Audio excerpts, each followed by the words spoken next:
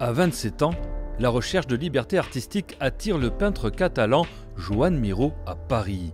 Il y vivra de nombreuses années entre 1920 et 1945.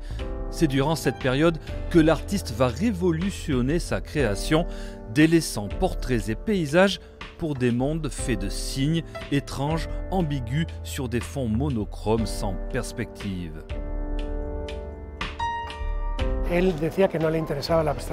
Il disait que l'abstraction ne l'intéressait pas. Il n'appréciait pas qu'on le considère comme un peintre abstrait. Il disait qu'il peignait des éléments de sa réalité, mais il évoquait le monde des rêves, des visions, des hallucinations. Il y a beaucoup de références à la nature, mais par exemple, dans le tableau nommé Cheval de cirque, on ne voit aucun cheval, ou bien dans les fumeurs, on ne voit que la fumée. Ce sont des œuvres très mystérieuses.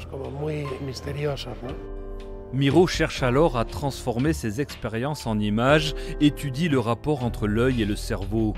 Considérant que l'art de son époque a perdu tout sens, il veut retrouver la pensée primitive, la logique de l'art rupestre, peu de signes mais beaucoup de significations.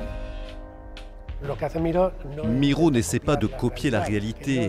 Il ne peint pas un homme réel, une femme ou un oiseau réel, mais plutôt l'idée d'un homme, d'une femme, d'un oiseau ou d'une étoile. Je crois que c'est ça, le sommet de son langage. Ici, par exemple, toutes les toiles ont le mot nuit dans leur titre, mais elles sont blanches, ce qui paraît contradictoire. Je crois qu'il fait ici allusion à la lumière nocturne, une autre sorte de lumière, une lumière spirituelle. C'est après cette période parisienne, vers 1947, que Joan Miro commença à être connu et reconnu dans le monde des arts et bien au-delà. Joan Miro, la réalité absolue à découvrir au musée Guggenheim de Bilbao jusqu'au 28 mai 2023.